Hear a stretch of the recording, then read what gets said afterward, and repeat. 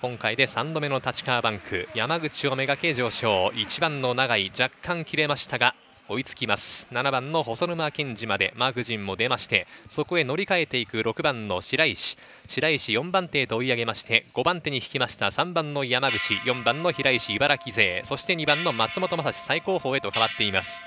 残り1周半を切って先頭に立った5番の樋口海斗のペースです。樋口先頭で追走1番の永井。地元勢7番の細沼健二追走して最強ライン依然として主導権握り続けて残り1周切りました。